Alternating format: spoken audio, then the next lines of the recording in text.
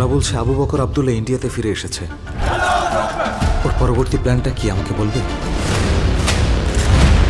ওরা আমাকে ফাঁসিয়ে দিয়েছে। ওদের দেখিয়ে দেব আমি কি করতে পারি।